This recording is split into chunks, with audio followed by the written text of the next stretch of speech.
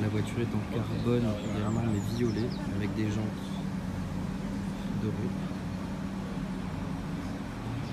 Spectaculaire.